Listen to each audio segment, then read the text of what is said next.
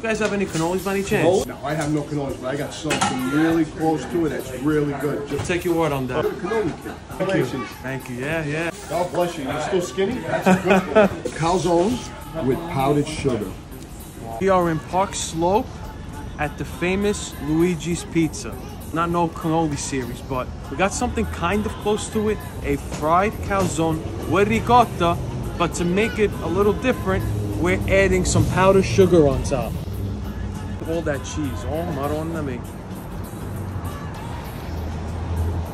Get savory and sweet at the same time. And I have to say, it really kind of does have a taste of like, you know, a cannoli. This is phenomenal. I gotta give it to him. To me, Gio, he's an old school person, still makes some of the best pizza in New York. He's like the Derek Jeter of pizzaiolos. Humble, great guy. But this right here, that's a home run.